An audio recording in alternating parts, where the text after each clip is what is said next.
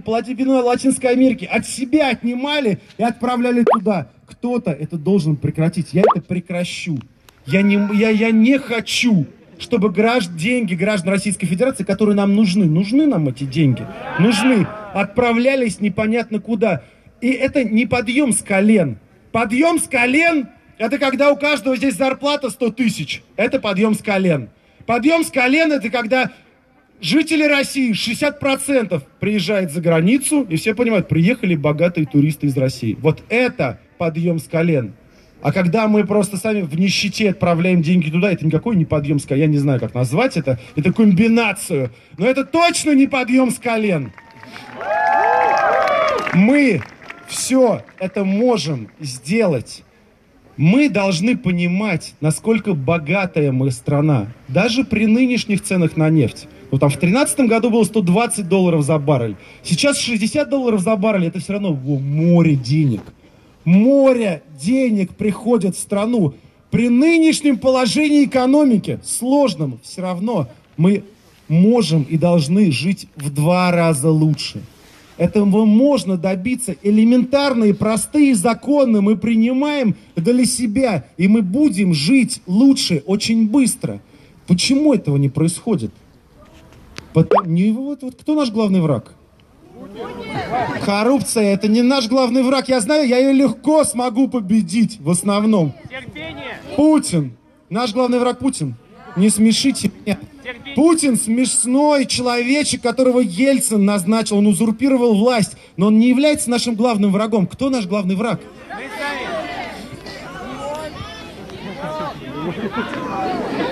Неверие и привычка. Правильно. Вот что я не могу, по крайней мере пока я не смог пробить, это вот эту вещь, потому что всегда и все мне обязательно подходят и говорят, блин, Алексей, ты классно, конечно, там все там разглагольствуешь, но пока тебя сейчас не снимает камера, и пока вокруг нет, нет людей, ты мне признайся потихоньку на ухо, ты же понимаешь, что ничего нельзя. Я говорю, нет, не понимаю. Ну как, ну это же Россия. Я говорю, и чего? Что за аргумент? Это Россия. Ну как, это Россия. Здесь ничего изменить нельзя. Поднимите руку те, кто... Можно, я вот так же кричу, можно. Поднимите руки те, кто когда-нибудь, ну, агитировал кого-то за борьбу с коррупцией, например. Спасибо. А теперь поднимите руки те, кто вот слышал в ответ такую фразу. Ну, ладно, эти наворовались, а новые-то придут, все равно будут воровать. Ага. Вот он наш вот он наш враг. Мысль, которая засела у нас сограждан о том, что мы никогда хорошо и не жили, не нужно и начинать. Россия для грустных. Вот всегда мы так жили. Но слушайте, мы страна нищеты. Мы-то когда-то голодали, потом наши родители жили просто бедно, мы живем бедно, и детям нам положено жить бедно, потому что вот, ну это же Россия. Я так не считаю. Я верю в свой народ, и я верю в свою страну. Я знаю, что этого всего можно добиться. Просто нужно побороть в себе это неверие. Вот эту готовность тому, что ну ладно, что там, надо значит там Бричалова, потом еще кого-то, потом еще кого-то. Всегда мы будем жить вот так, и никакого продыха нет. И мысль о переменах только, если вдруг мои дети будут достаточно счастливы, что смогут уехать за границу и там устроиться. Так же говорят, да? У кого-то кто-то нам родственник говорит, а у него там дочка вышла замуж и уехала жить там, я не знаю, в Германию. Все говорят, какая счастливая. Я не хочу так. Я здесь жил всю жизнь. Мои дети здесь живут. Я хочу, чтобы они остались жить в России. Я знаю, я вижу же, ребят, но я вижу, что нас больше. Ну пусть бы сюда пришел Бричалов и объявил, что я провожу митинг в поддержку Единой России. Сколько много народ придет? Сам Бричалов не придет. Если ему не заплатят, не придет. Никто, заста... только если заставят, придет. А поднимите руку те, кто слышал, ну, кому угрожали, что, или говорили, что не надо приходить на этот митинг. Ага, но вы же все равно пришли. Но вы все равно пришли. И на этот дом давили. И говорили, что мы вам сейчас какие-то штрафы выпишем. А они все равно сказали, а нам наплевать, пусть Навальный выступает. Я знаю, что активные россияне, нормальные россияне, они все за нас, их больше, чем их. нужно верить в себя для того, чтобы эту всю стену пробить. И мы ее пробьем. Ребята, если мы будем работать, мы построим нашу прекрасную Россию будущего, и нам никуда не нужно будет уезжать. Спасибо большое. Спасибо, что послушали меня. Вопросы, как я и обещал. Критические, не критические, скептические. А, поднимайте руки, говорите, я повторяю, отвечаю на вопрос. Пожалуйста. Вас таки зарегистрировали в э, президенты или из-за этой херни, из-за суда? Так, а, вопрос звучал так. Вас зарегистрировали в президенты или из-за этой херни того? Ну, херня продолжается, но пока еще выборы не объявлены. Ну, я не наивный человек, и вы, наверное, не наивные люди. Но мы же понимаем, что Путин вряд ли мечтает о том, чтобы я участвовал в выборах.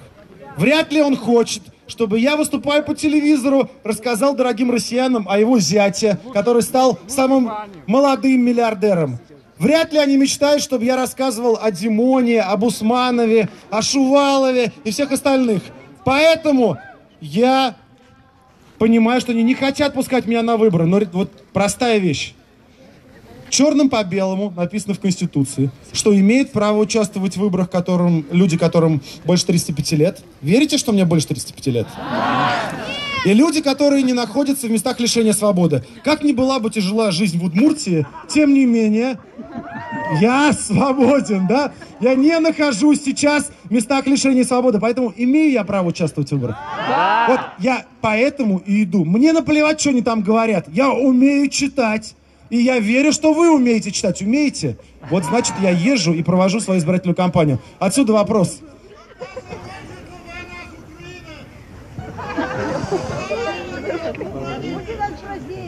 Вопрос про войну с Украиной. Я закончу войну с Украиной. Нам не нужна война с Украиной. Она, она делает нас беднее. Она разоряет нас. Какого черта нам воевать? У нас Счастливое время вообще-то. У России сейчас, ну, нет таких врагов. Россия не, не должна участвовать в войнах, если мы сами туда не лезем. Мы должны сейчас богатеть. Это, в общем-то, уникальное время в нашей истории. Мы можем со всеми торговать, у нас должно быть все прекрасно, мы должны становиться богаче. Вместо этого мы занимаемся чем-то использую этот термин, херней. Я херню прекращу. Это может быть... Я просто не могу это вписать в слоган компании. Алексей Навальный, я прекращу всю херню. Но, по сути, это примерно так. Вопрос давайте еще с этой стороны был.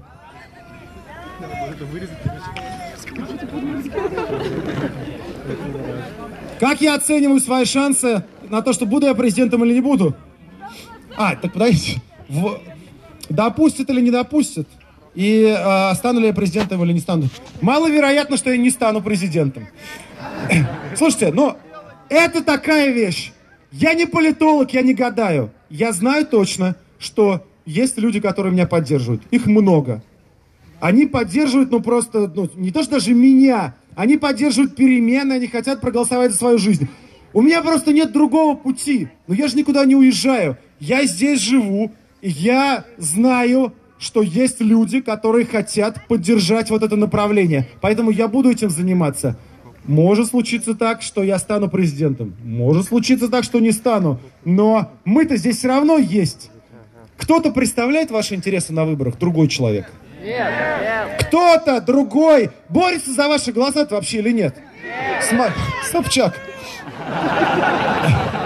Алексей, Алексей. Хочется позвать на сцену и задать пару вопросов. Алексей. Ну, на самом деле, ну, реально, смотрите, 4 месяца до выборов, правильно? Из них январь, вся страна отдыхает. Отдыхает вся страна.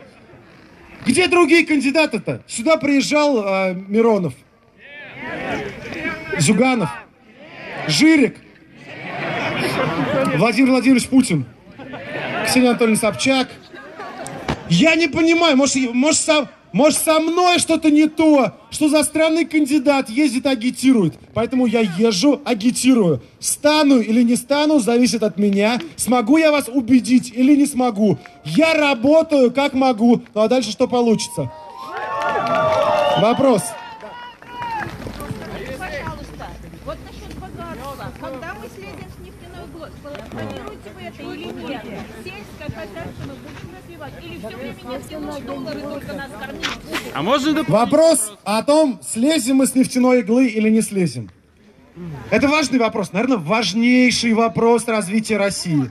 Если мы посмотрим на нынешнюю власть, она каждый год говорит, что мы пытаемся с ней слезть с нефтяной иглы, и каждый год все равно процент нефтяных доходов в импорте и федеральном бюджете растет. Почему? Потому что они не хотят другого ничего развивать вообще. Для Путина идеальной Россией является Россия, где как можно меньше населения, есть нефтяная труба и деньги, которые идут на швейцарский счет. И либо мы сможем слезть с нефтяной иглы, либо у нас, опять же, нам ничего не светит. И во- мои планы такие. Ну, Сначала снова я задам вам вопрос. Вот здесь, в Удмуртии, легко заниматься бизнесом? Как и везде. Нереально. Я везде это слышу, что слова нет, оно даже недостаточно жесткое, невозможно. Возвращаясь к вашему, нашему единоросскому Бричалову, он же возглавлял опору России, правильно? Это организация типа малого бизнеса, которая доказывала всем нам, что малый бизнес поддерживает Единую Россию, потому что малому бизнесу очень хорошо живется в России. С каждым годом все лучше. Это правда или нет? Это ложь. Поэтому для того, чтобы не лезть с нефтяной иглы, мы должны развивать малый бизнес, средний бизнес и сельское хозяйство, о котором вы говорите. От малого малые доходы. Правильно! От малого бизнеса малые доходы для бюджета. Именно поэтому, именно поэтому я говорю, что от малого бизнеса малые доходы. Малый бизнес нужен для чего? Для создания рабочих мест. Для того, чтобы люди какую-то зарплату получали. Поэтому я четко говорю, я стану президентом, я освобожу от налогов и всяких бумажек малый бизнес. Освобожу! Малый бизнес! Это люди, которые хотят прокормить себя. Но то, когда появляется он, потом появляется средний бизнес, а потом появляются заказы у тех самых заводов, о которых вы говорите. Когда какая-то кровь есть в экономике, заводы работают, потому что этим заводам есть что производить, покупают их продукцию. Малый бизнесмен что-то делает, ему понадобилось оборудование, он пошел, зак- заказал его на завод. Так мы запустим экономику, потому что сейчас, ну если любой из вас завтра захочет открыть э, палатку, магазин, что угодно, кафе, Кого вы видите первого? К вам придет пожарник, к вам придет какая-то инспекция, к вам придет налоговая, к вам придет полицейский и так далее, и так далее. И через месяц вы обнаружите, что вы просто без штанов остались. У вас нет ничего. Вот я сделаю так, что их всех прекратят тиранить и прекратят прижимать и прекратят мучить. С крупной промышленностью, вот прямо сейчас, прямо сейчас что нужно сделать? Вот это Ростех чудовищный, которому принадлежит половина ваших предприятий, которые здесь находятся. Это же просто мафиозная структура. Абсолютно мафиозная, чудовищная, монополистическая структура. Она должна быть ликвидирована, вот и все. Давайте отсюда вопрос, потом в середину.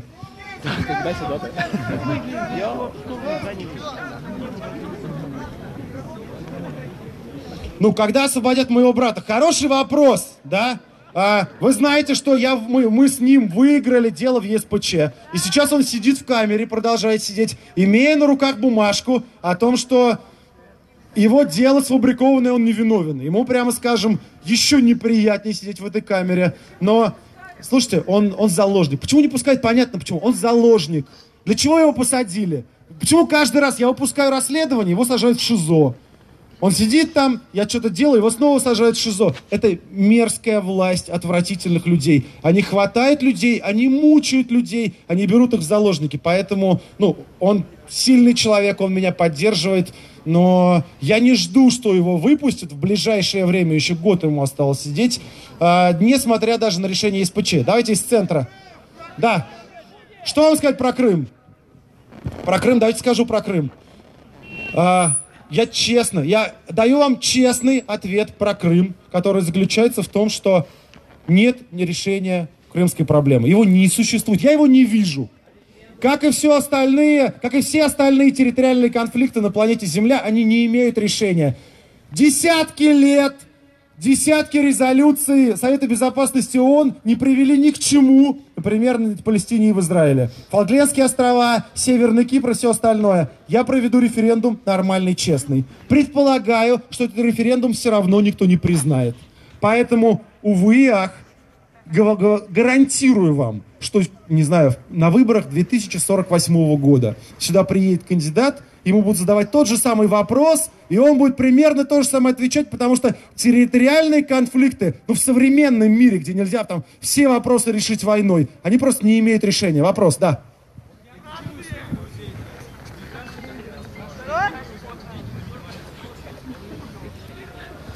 Вопрос такой. Я агитирую своих друзей, и каждый второй задает вопрос, откуда вы возьмете деньги на минимальную зарплату в 25 тысяч?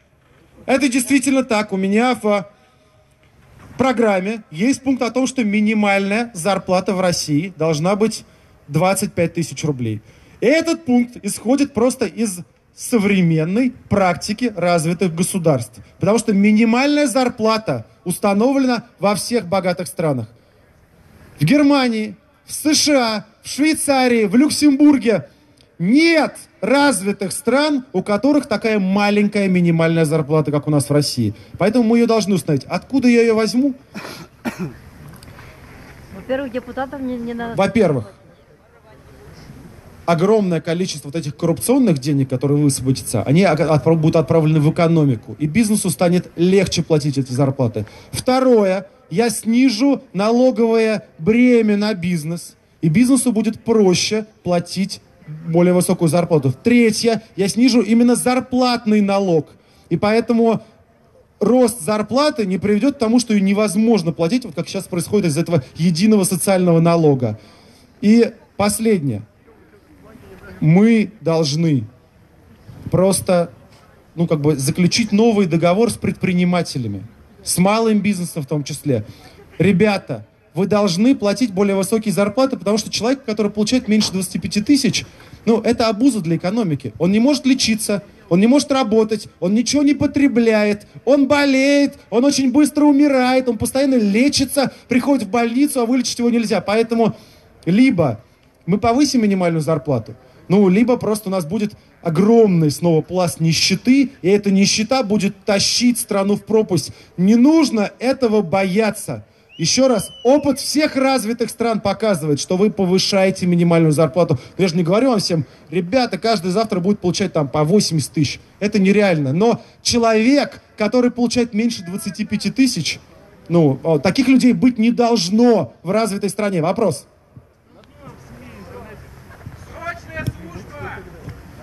Давайте сначала сюда, потом этот вопрос. Значит, цензура СМИ в интернете. Вы знаете, что, ну, включите телевизор, там про меня расскажут, что я украл весь лес. Или, скорее всего, вообще ничего не расскажут, потому что сейчас про меня вообще ничего не разрешается говорить. Вы сегодня вечером, ребят, вот не сегодня вечером, придете домой, откройте в интернет и посмотрите, что ваши местные удмуртские порталы написали об этом митинге. Жалкая кучка людей не напишут. А, Приезд Навального никого не заинтересовал. А, Заезжий политик был вознагражден презрением а, жителей Ижевска. Какие еще там я видел соверш- какие-то совершенно безумные. Вы просто будете удивлены степенью наглости вранья об этом митинге. Гарантирую вам. Да мы привыкли. Это привыкли. Ну вот не нужно привыкать. Совершенно правильно, мы привыкли. Это одна из самых просто решаемых проблем. Мы запретим цензуру, мы сократим радикально количество СМИ, принадлежащих государству. Мы не будем делать так, что государство лазит по блогам, вконташам и всем остальным. Смотрит, кто там поставил какой-то лайк, кого-то нужно посадить за репост и все остальное. И я здесь говорю две очень ясные вещи и два предвыборных обещания, которые я люблю давать. Забираюсь на трибуну для этого. Первое, я отменю 282 статью и отпущу всех, кто по ней сидит. Я гарантирую это сделать. И второе, и второе, вы, как налогоплательщики, хотите платить кому-то, чтобы они мониторили соцсети и блокировали соцсети? Нет! Значит, я распущу Роскомнадзор, разгоню и уволю их. От первого до последнего человека они не нужны. Сборище дармоедов. Вы видели? Сотрудники Роскомнадзора радуются предстоящей свободе. Видели? Вчера же кто-то этот, не Ампелонский, а кто там сейчас глава, заявил, что Роскомнадзор ведет запрет несовершеннолетним на использование ну, вот этого отпечатка пальцев на телефоне. Идентификации. И возникает вопрос, ты дурак, что ли, совсем? Ну ты чиновник же! Чиновник с большой зарплатой, получил служебную квартиру, у тебя есть черный Мерседес, который дали тебе за деньги налогоплательщиков, и ты сидишь и думаешь о том, что нужно запретить подросткам идентификацию. Это безумие. Мы, мы разгоним этих людей. Я лично приду туда и, и кнопками объявления «Вы все уволены» повешу. И получу большое наслаждение. Был вопрос про, про армию, призывную армию. Я вижу, для вас актуален этот вопрос. Сколько вам лет? Актуален. Отлично. Отвечаю. Я отменю призыв. Я отменю призыв. Он не нужен. Ребят, он не нужен. На черта нам нужен этот призыв. С 2005 года Россия может содержать контрактную армию. Современная армия, современное вооружение требует квалифицированного персонала. Она требует людей, которые получают большую зарплату и служат не год, а несколько лет. Что такое сейчас призывная армия? Это сопляки! Это налог на бедных. Откуда? Из какого региона никто не идет служить? Ну, из Чечни, понятно почему. И из Москвы. Потому что в Москве высокие доходы, и можно отмазаться. Вы платите военкомат, и все, и вы не идете служить. А идут служить откуда? Из деревень.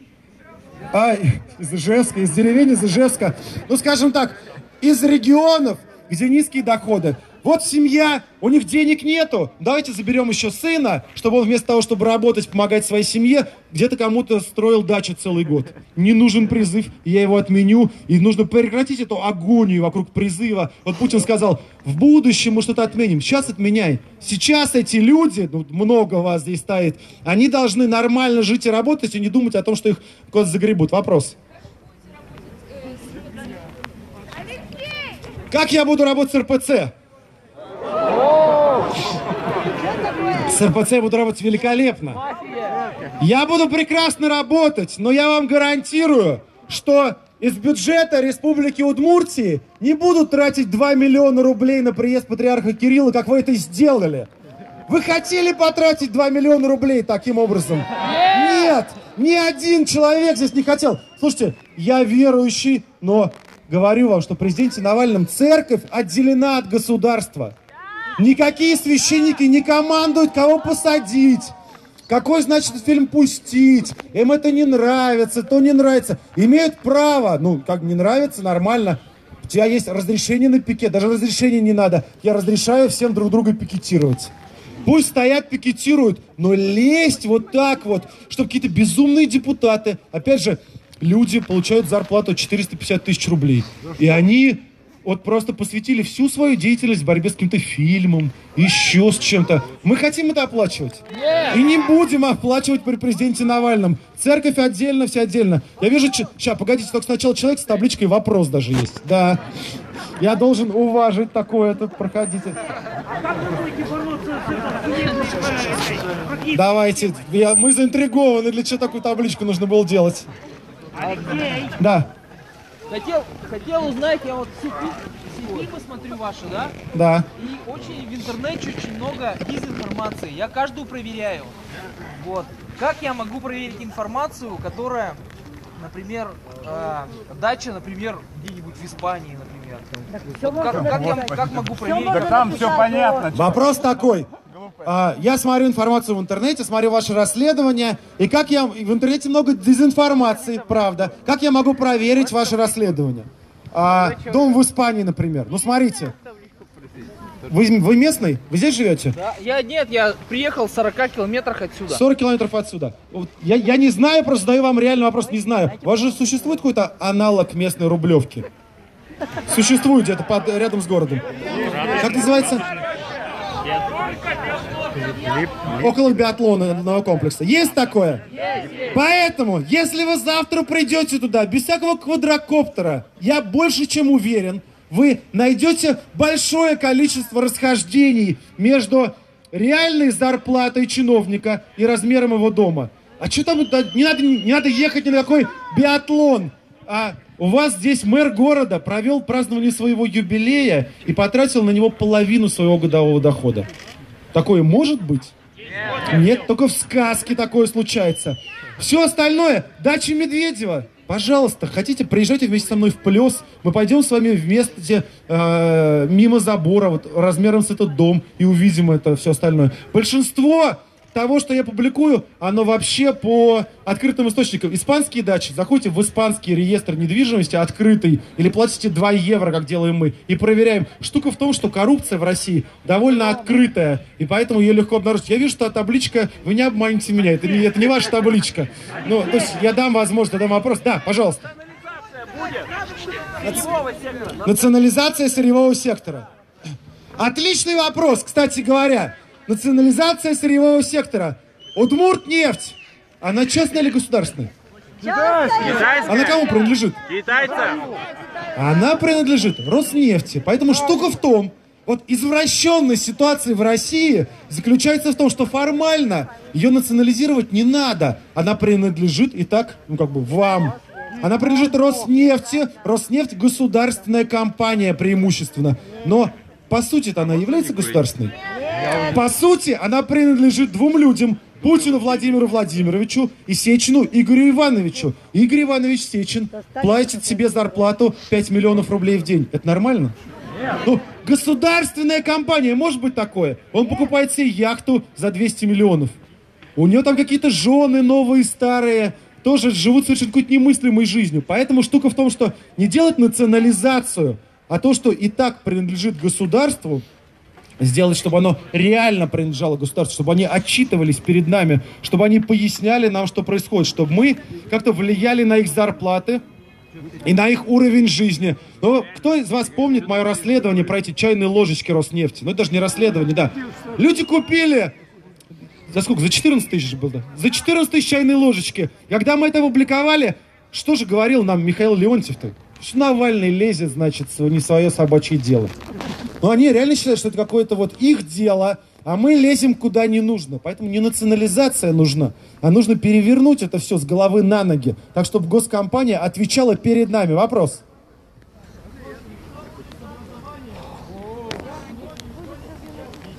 сигарету. Я не хочу дышать табачным. Вот только что был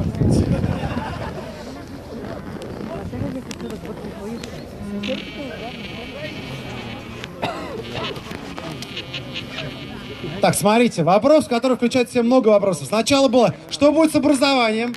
Потом сейчас везде а, всероссийские проверочные работы, хоть я и не тупой, они мне очень не нравятся. А, и третье, мы сдаем, сдаем эти э, экзамены, а все равно количество бюджетных мест сокращается. С конца начну. Вы же, может быть, даже видели мой такой заочный спор с Путиным, который заявляет о том, что количество бюджетных мест растет. А я смотрю статистику и сокращается. Ну вы мне скажите, кто врет-то здесь?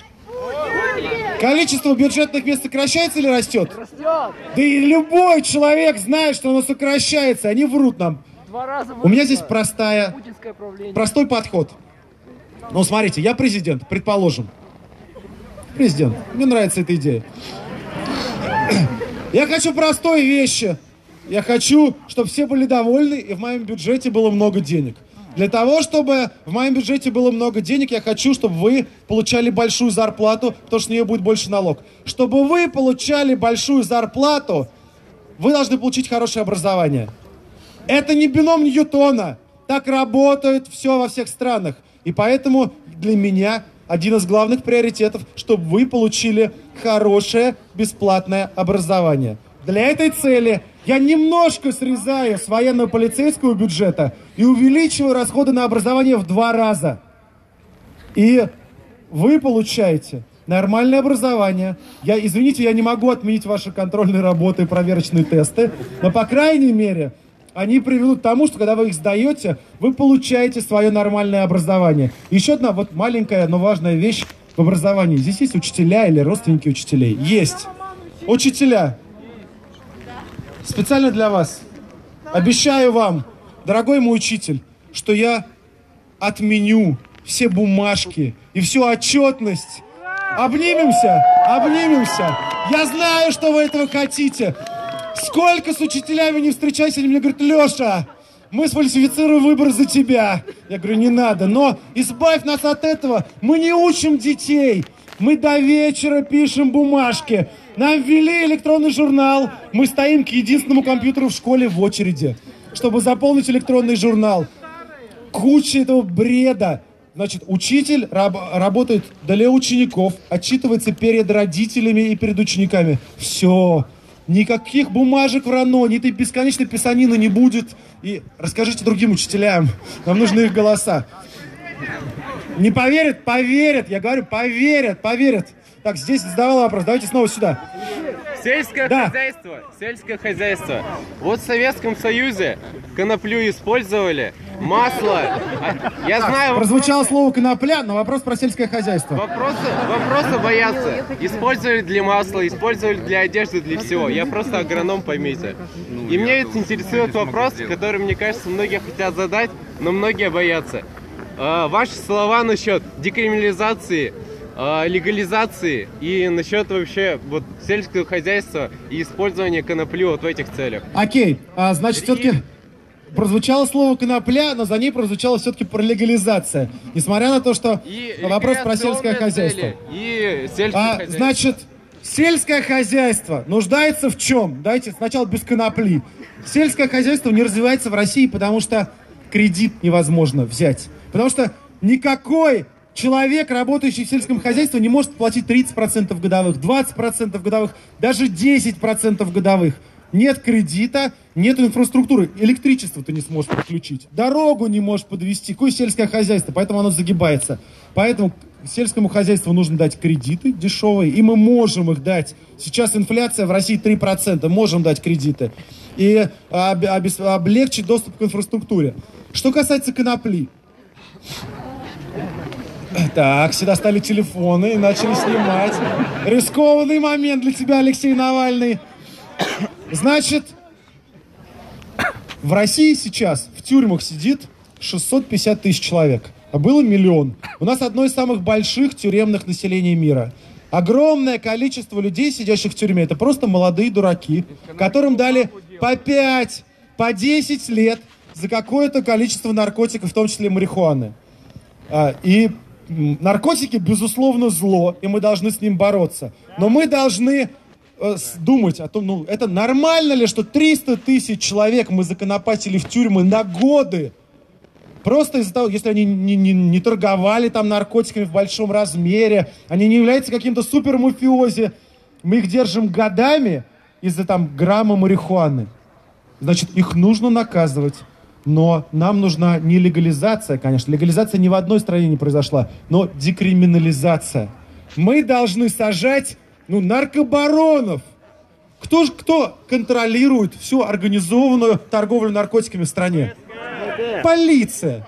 Ну мы же понимаем, что милиция контролируем это все. Продажная часть. Я не говорю, что вся полиция в этом замешана, но продажная часть ее. Но мы сажаем просто молодых дураков. Поэтому, безусловно, одно из направлений это декриминализация и уже подпускать всех тех людей, которые уже наказаны. Не нужно им дальше ломать судьбу. Вопрос, да? Все правильно. Legalize!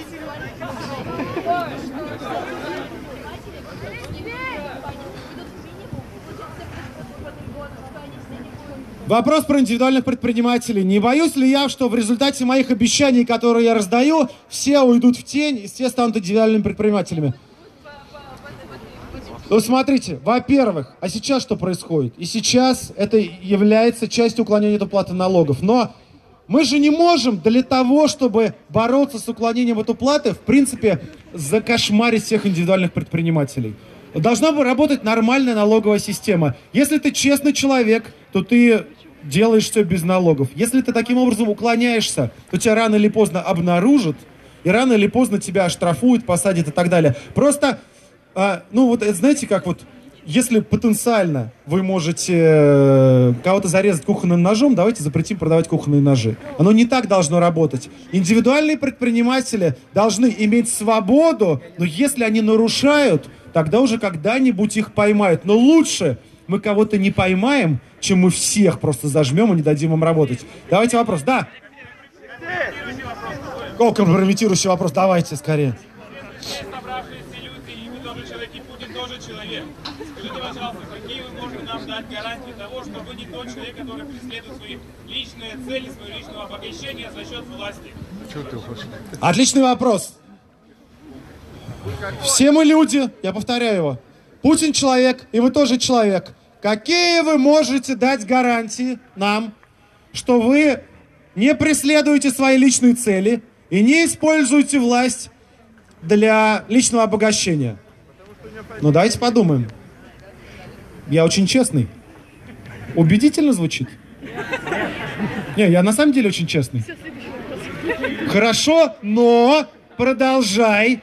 Поэтому я понимаю эту проблему, осознавая очень хорошо, что власть портит любого человека, правильно? За историю человечества, и уж точно за, за новую историю человечества, мы убедились, что не было ни одного нормального правителя, который сидел бы у власти больше 10 лет и не испортился. Это просто невозможно. Как известно, Путин является сейчас кем?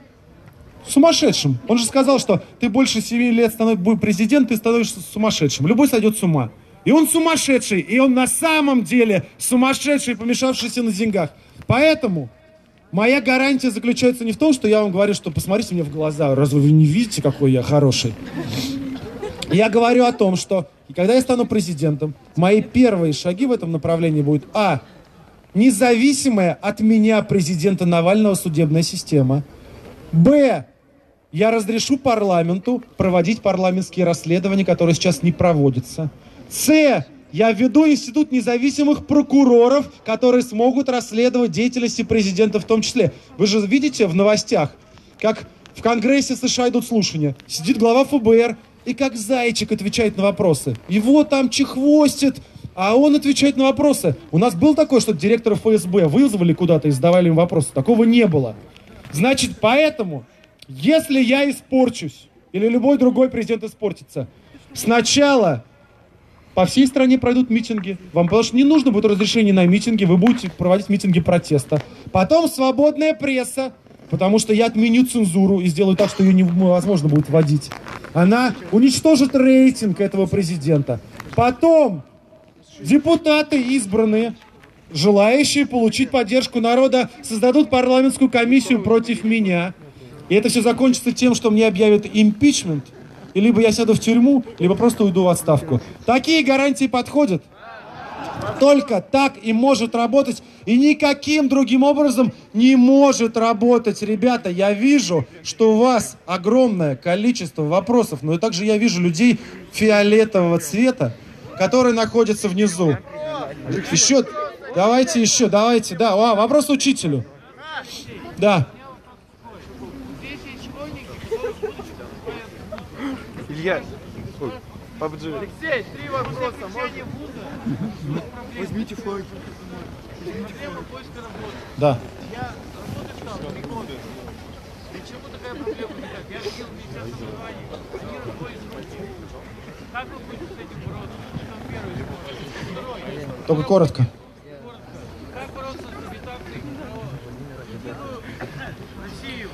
А. Значит, первый вопрос. Почему никто не может найти работу, особенно после вуза? А второй вопрос. Как мы будем бороться с агитацией против единой России? Значит, почему нельзя найти работу? Потому что ну, нет бизнеса. Потому что в России 85% экономики контролирует государство. Ничего не развивается. Рабочие места не создаются. Нужно просто отпустить нашу экономику, не мучить ее. Прекратить давить ее налогами, прекратить давить ее регулированием. Тогда ну, появятся предприниматели, предприниматели создадут рабочие места. Ничего другого мы здесь не придумаем. Либо мы даем стране экономики, экономику свободу, мы отправляем коррупционные деньги, сэкономленные внутрь вот этого развития, внутрь экономики, и тогда это работает либо, ну, либо это не сделать никак. Вопрос номер последний, да? Я реализую это. Как мы будем бороться против агитации Единой России? Значит, как вас зовут, дорогой мой учитель? Руслан Александрович, повернитесь вот так вот в разные стороны. Я вижу здесь достаточное количество людей, чтобы переагитировать Ижевск за два дня целиком. Вот, нажимаете на кнопку «Перепостить», разговариваете с кем-то 5 минут в день, тратите на агитацию, и все. Мы всех переагитируем. Не надо недооценивать себя. Мы огромная масса людей. Сюда пришли, на морозе стоите, заставляли вас, запугивали, все равно пришли. За нами большинство. Мы можем все это сделать. Да, у нас нет телевизора, у нас нет газет даже. Но люди – это самое мощное средство агитации. Мы все это можем сделать, если будем верить в свои силы. Еще раз, Единая Россия, Бричаловой, Путины – это не монолит. Это пустота, которая держится исключительно на нашем бездействии, на нашем неверии в самих себя. Будем делать что-то, мы победим, мы сами, ребята, удивимся, насколько легко оказалось это все пробить. Спасибо вам большое, что пришли. Я надеюсь, что я не очень сильно вас заморозил. Я надеюсь, что я уеду, дайте пять, из Ижевска. Погодите, не погодите, сейчас со сцены меня спихнете. Могу ли я завтра в Смоленске говорить о том, что я кандидат от Ижевска тоже? Спасибо большое. Должен же в России рано или поздно появиться нормальный, честный президент. Я хочу стать этим президентом и стану им, если вы меня поддержите. Поддержите? Да. Спасибо огромное. Спасибо, ребята, что пришли. Еще раз спасибо жителям этого дома, которые сделали это возможным. Спасибо волонтерам. Приеду еще не раз. Ижевск с нами победим. Спасибо.